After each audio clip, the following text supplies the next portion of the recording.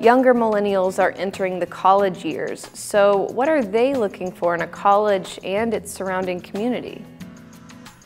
The difference between recruiting a student now as compared to even five years ago, 10 years ago, 15 and 20, and I think the main difference is Google.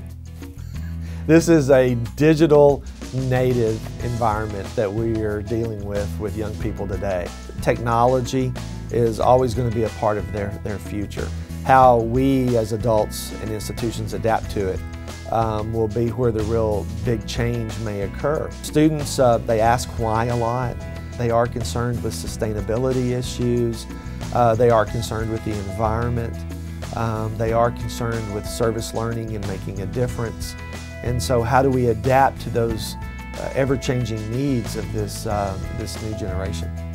In talking with some of my cohorts, um, we, we've discussed how the student dynamic has changed over the years. And there are some differences. I think the, the need for constant entertainment is something that's new. When they are looking and searching and calling in, the things that they ask most um, is what, what is happening in your city? What kind of things happen outside the college campus? What are the restaurants like? Uh, what's the music scene? What's the art scene? Students really need the instant gratification and they don't want to look far for opportunities to have fun.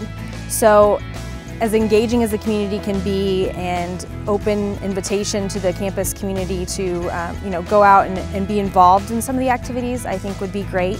I'm from a very small town, so to me Evansville seemed really big.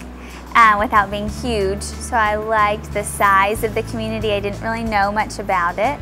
Um, and really, I didn't, going into college, I didn't know what I wanted to get out of it except the potential to get a better job eventually. Students and families are interested, I think, today in what those outcomes are.